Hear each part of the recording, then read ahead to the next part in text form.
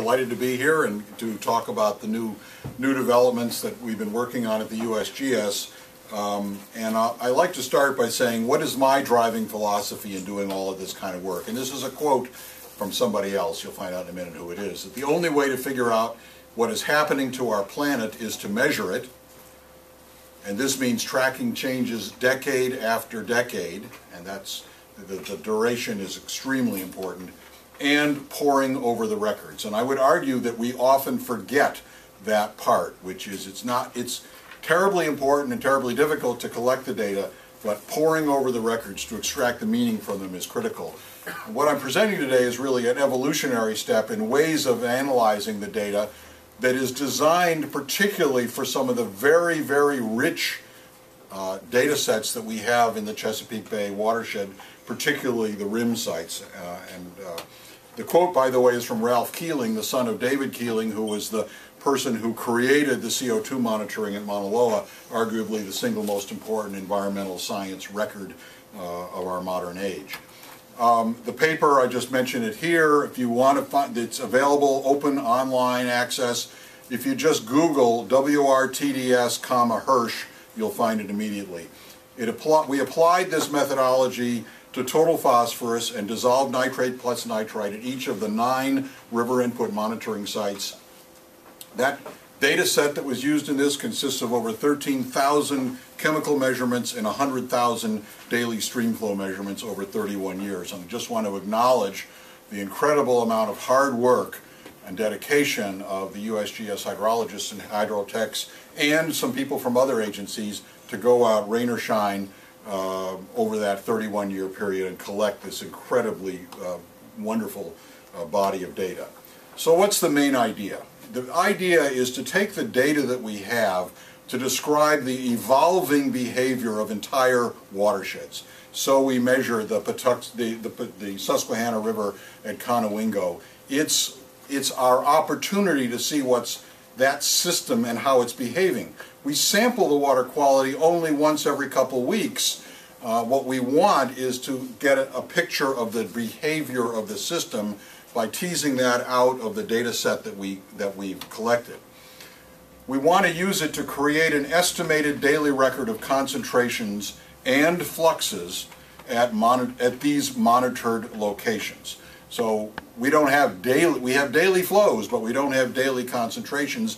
We need to use the information in there to infer what those concentrations are, and when we have concentrations, we simply multiply them by flow to get a flux or load uh, on a daily basis. Um, we also want to create an estimated record that is free of the effects of the random year-to-year -year variations in stream flow, and we call this a flow normalized record, and I'll get back to this in a minute, in a few minutes when I sort of walk you through the methodology. But we recognize that the year-to-year -year variations in the in the weather uh, are very influential in terms of the water quality in these tributaries, and we don't want to be fooled by what happens to be a kind of a roll of the dice in terms of what particular set of conditions that we had we again want to get at what's the behavior of the system and how is that changing. And for that, we really need to flow normalize. And we want to provide diagnostic information. It's not enough to just say there's an uptrend, there's a downtrend, it's 5% over so many years.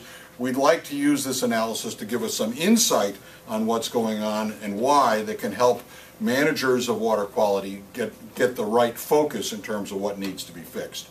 How does it work? The idea is to mathematically decompose the sample data into four components. The first one is seasonal variation. There's a lot of seasonal variation in these water quality variables. Uh, there's a tremendous amount of stream flow driven variation. Uh, uh, for example, if we have um, non-point source loading associated with runoff, we're going to see high concentrations at high flow, low concentrations at low flow. These are all these patterns. We need to be able to incorporate that into our model there is long-term trend. And I, to me, it's a given that there is always long-term trend. Humans are doing lots of things out there, for good or ill, in the watershed, and there is a long-term pattern of trend. We need to incorporate that. And then we need to recognize that there is a great deal of random or unexplained variation, and we need to do that. The, the human eyeball is not able to parse apart, apart these different components of, of the variation, you need a formal mathematical approach.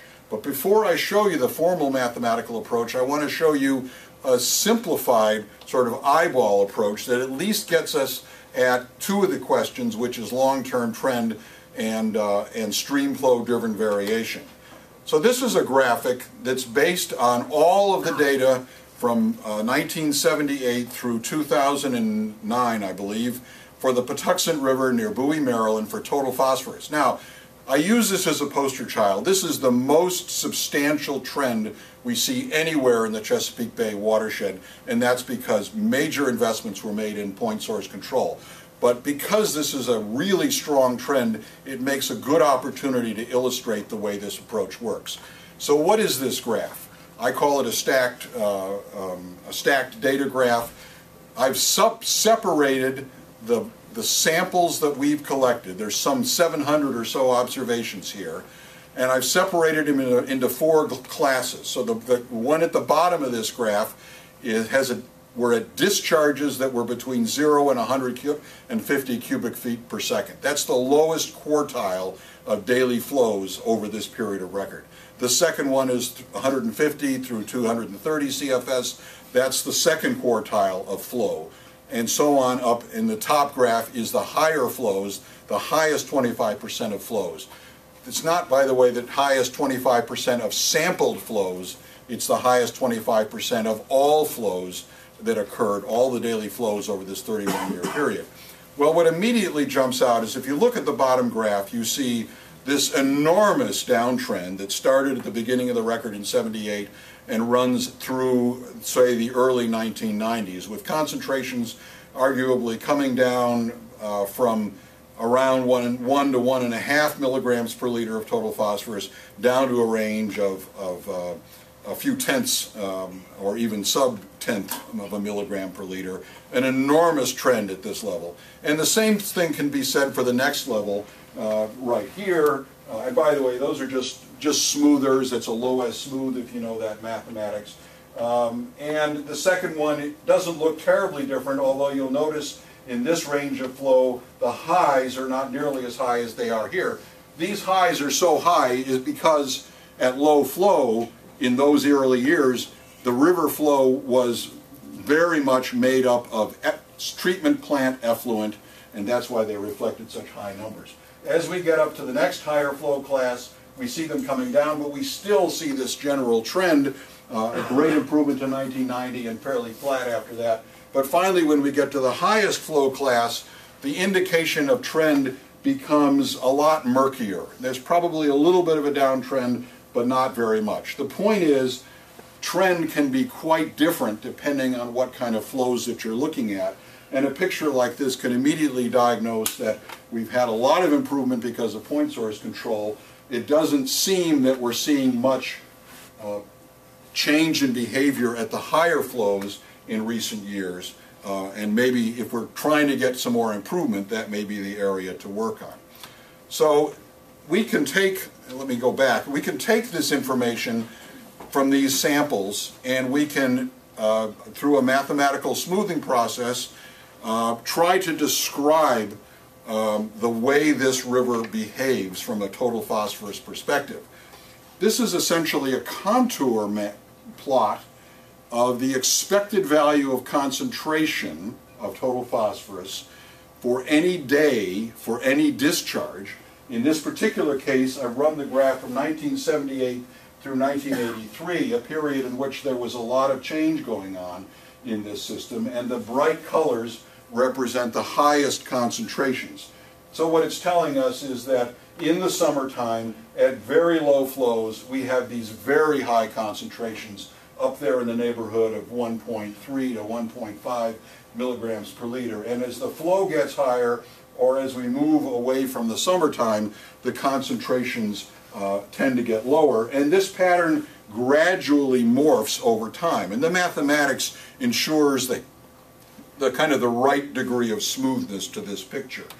We can then go to, the, to 1991 through 96, and in fact you can hardly see any variation here. the, the purple colors have completely gone away because we've gotten rid of those high concentrations happening at the very low flows. And we can still see a seasonal pattern with it being just a little bit higher in the summertime than it is at the fall. But uh, generally, that's the pattern, and we can go on one step farther. And there's this is 2004 through 2009, and now when we get down here in this very low flow range, um, uh, no matter what time of year it is, we're down in this lowest class of concentration values. And we can, in fact, put those three, three snapshots of this surface together one at a time, one after the other, and in a sense visualize what's going on in terms of the changes in water quality. So, so this is a, a diagnostic and it's a way of visualizing what's going on. What the method actually does is mathematically go into the surface and say, okay, I want to estimate what happened on April 20th of 1979, uh, and I can look up and say, oh, the discharge was so many cubic feet per second, and I can go in here and I can pick off my estimate of the expected value of concentration on that particular day. Then move to the next day, do it again, do it again, do it again, and by that process create my best estimate of the concentration on every single day of that 31 year period. Now, there's a lot of unexplained variance and hence the record that would you would come out with is going to be rather smoothly behaving because we've left that out. But what we're interested here is, is in the expected value. So we can take those concentrations for every single day, multiply them by the discharge for those days to compute a flux for that day. In this case, it's in, expressed in units of tons per day. Um, and we can sum them over individual months. And the black line on this graph is that estimated history of, of fluxes over this period of record. And the, and the red circles are uh, the annual estimates. We simply add up the numbers for all 365 days of each year and, and show them on the graph. And what we see is, and, and this is not rocket science, it's clear that we had some tremendous fluxes back in the 70s and they have come down into a much more, uh, much lower range in recent years. Now I'm going to strip away the monthly and just show you the annual. So these are the exact same red dots I just showed you, but I just expanded the axis so that uh, you can see it better. And so you see the tremendous downwards trend, great success. But then you see some other things that, that make you wonder, how are we doing in the Patuxent? Well, this is 1996, an extremely wet year. This is 2003, an extremely wet year. And these are 1999 through 2002, a series of extremely dry years. Clearly, the phosphorus pattern, total phosphorus pattern, is very much influenced by high and low flow. And so we can end up in situations, we see this over and over and over again as we look at the records for the Bay, is if, if our window is too tight in terms of looking at the data, you know, we could look at this, this, this, and this and say, aha, we're having tremendous success. The number is going down. I would argue, no, you've been tremendously lucky. The roll of the dice has been that we haven't had any whopper wet years since then, but I will guarantee you it'll happen again. Or we could look from here to here and say, oh my God, we're having a terrible failure as we go out of the drought and into that wet period. We need some way to get past this uh, really false conclusions about success or failure that are simply a result of the random roll of the dice of what kind of weather did we get. So we developed this idea, which I call flow normalization. And the goal is to remove the variation due to the random variations in flow, but be true to the behavior of the system. How do we do that? For any given day of the study period, we compute what, what would have happened on that day with each one of the 31 different daily discharges that, that happened on that day of the year in the past. So I'm saying the flow for that particular day was a random occurrence and I'll use the 31 years of, of data for that day of the year as my population that I'm going to sample from. Uh, uh, but I'm going to say, but my model, that contour plot, tells me how the system was behaving on that day. So I'm using that contour plot and going in there for every single day I'm going in there 31 times, 31 different flow, flow values.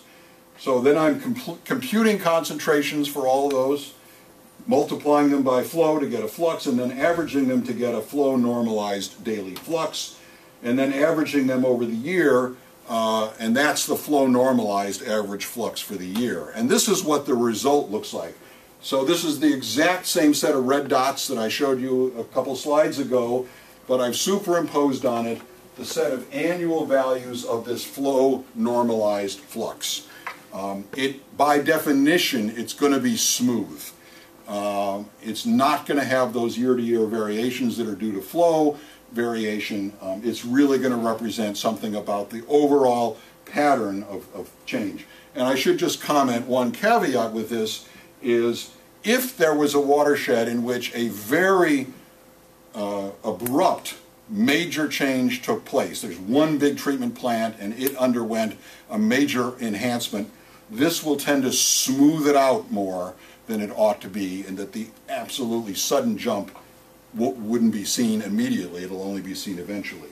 But I think most of the changes we anticipate in these large watersheds are either combinations of many point source actions or combinations of a huge number of of non-point source actions, and I think the smoothness is, is an appropriate way to look at things. Now we can say some things about, well, what's the trend? In my, and I, it was interesting to hear the previous conversation about how to depict trend to people, because it matters enormously over what period of time you describe the trend. Is it the trend from 1995 to, to now? The answer is pretty much flat. If it's about the trend from 1978 to now, the answer is enormous amount of change. And we can describe that either in tons per year or we can describe it in percent. We have a lot of options about how we want to go about displaying that information. Couple more, couple more rivers. I'm not going to develop all the way through, but I think I want to just show other diagnostic patterns. So this is exactly the same kind of plot that I showed you for the Patuxent. This is also total phosphorus. It's the Rappahannock. It's four flow classes from lowest to highest. We look at the lowest flow class. The total phosphorus concentrations are very, very low and they're very flat. Basically no change in this system over the entire record. We go up to the second flow class. Uh, it's a little noisier, but there's nothing in there that would indicate that anything's really changing. And even the, the third quartile of flow, again, a little bit noisier because we're getting into more moderately high flow events, so things are a little bit more variable. But again, not anything that I would call a strong indication of a trend. But then when we get into the highest flow class, we see some real change occurring. We see some whopping big concentration values out here. And interestingly, we see the disappearance of any what I'll call really low concentrations of total phosphorus when we're in that flow class. So back here in the mid 90s uh, at high flow, we went from very low to very high. It would appear that now we're going from, at that same flow class, we're going kind of from moderate to high. Um, I think, and we've looked at an additional year of data and we see this, this kind of pattern persisting. One more example, now we're switching over to talking about dissolved nitrate plus nitrite. This is the Choptank River, same scheme again. If we look at the lowest flow class, 0 to 30 cubic feet per second, we have this consistent upwards march of nitrate concentrations over this entire 31-year period. It's about a 50% increase over that period of time. We look at the next flow class, 30 to 80 uh, CFS, the same pattern persists, about a 50% increase, and we see it in the third flow class, the third quartile. They're all marching upwards. When we finally get to the highest flow class, uh, the, the pattern is not nearly as clear, it's much noisier, and not something that we would call a, a strong and distinct sort of a trend. What does this pattern tell us? It tells me immediately this is about groundwater because groundwater is what dominates the flow in these flow classes and nitrate is in the groundwater. We know that nitrate is increasing in the groundwater over this period of time. And this is clearly a groundwater-driven signal, and that surface runoff occurring at high flows is not necessarily changing very much. It's the groundwater component that's changing. So we have different products for different purposes. We can talk about concentration, we can talk about flux, we can talk about the actual history, what occurred, and the flow normalized history. And these little three cartoons will give a, an idea of when you would use which of these approaches to looking at it. If you were an ecologist or water, an estuarine ecologist looking at this system and say, I want to know about the fluxes because I want to test my model or my idea about how the estuary functions, you want the actual flow history, the fact that there was a lot of phosphorus in O3 and not very much in O2. You want to know the actual history to support that science.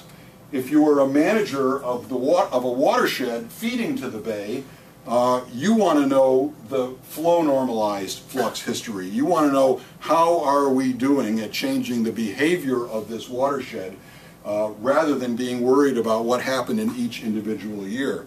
And finally, if your interest was, say, in the tidal Potomac or the tidal Patuxent or what have you, you want to know about the water that's going through that system, you'd be more interested in the concentration history.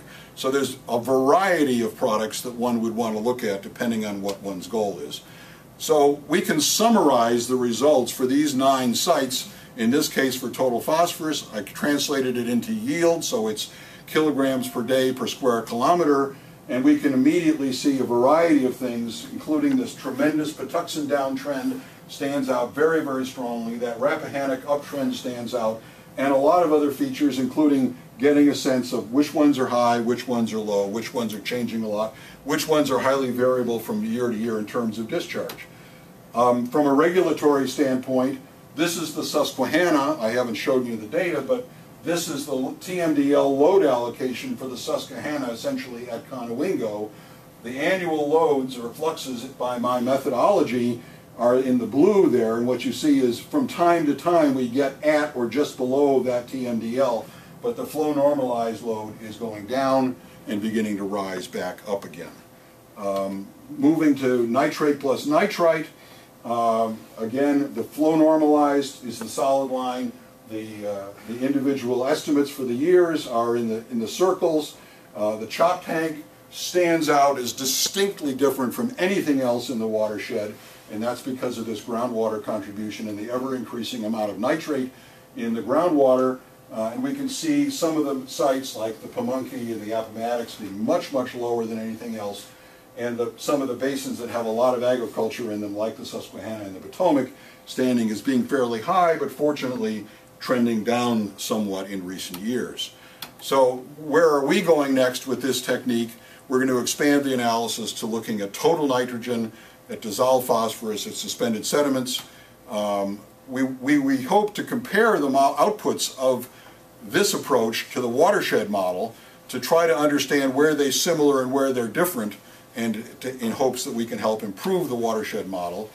We want to add the look at upstream sites that have fairly long records, say in excess of 20 years, and begin to learn about differences between sites, uh, and explore the connections between the results that we see here and the driving variables in the watershed, including the time lags, because many of these things uh, happen not immediately, but after uh, some lag.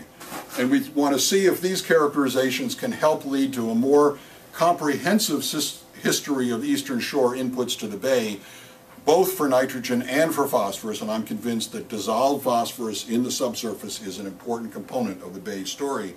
Uh, and we only have this tiny little watershed, the upper part of the Choptank, that has this kind of a long-term record. Can we use that and other records to help generalize across the eastern shore? Uh, and then we need to make the approach operational with frequent updates and user-selected information products, and we have some ideas about how to do that. And I'll just go back to my original quote to end with, the only way to figure out what is happening to our planet is to measure it, and we've been doing this one for 32 years now. This means tracking changes decade after decade and poring over the records, which I would argue is the real, more, a very important scientific challenge for all of us. And I'll take questions. Thank you.